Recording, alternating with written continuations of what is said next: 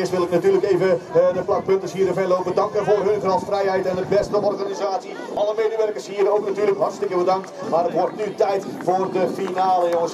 We gaan kijken naar Mike van der Boom, naar Dominic zelf, DJ Slots, Giel Klaassen, Matthew van Dam, Nick Roelofs, last but not least Doris Brik